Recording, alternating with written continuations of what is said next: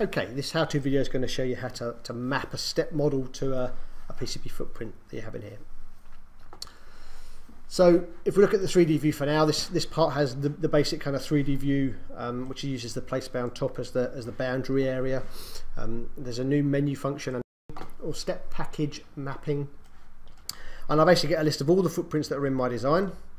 And I also get a list of all the step models that are available for me to map. And these are ones set up from the step path. So if I needed to create a mapping, I effectively pick the part that I want to look at, I get a 3D view. Now I know that this part is actually an 0402, so I can click on the 0402. I then get the visual differences between the two parts. So this is the this is the actual step model. This is the place bound top or place bound bottom shape that we have. The green is obviously the representation of the board.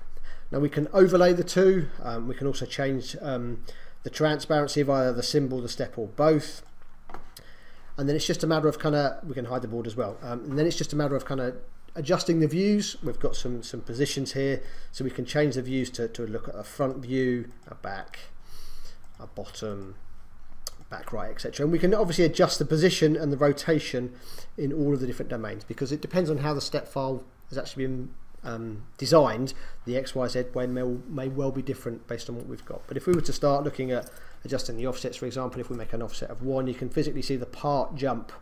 So we know that with the zero location so we can actually adjust the height of this component and the X and Y. Once we've done that we click on save and then we work, way, work our way through the list. And if I click on this it's just going to show me the visual parts that we need to look at. So if I wanted to look at something like a um, let's go and find an SOIC so I want a, a, a 20 way SOIC so we'll just work my way through my list we've obviously got it overlays. You can see that the rotation is incorrect here, so what I would need to do is, is potentially rotate this.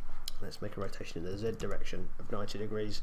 So I'm starting to kind of get the position of these correct. Maybe I want to look at a front view to see the front. And work your way around with the dimensions to make the mapping that you need. Now, once you save this, if I actually look at, um, I know 402, let's just go and find the 402 part and do a show element, what I'm going to do is I'm actually going to get effectively some properties that are now defined to the part so I get the name of the step file and the, the different coordinate locations that they've added here and the library path to where the actual the package symbol is.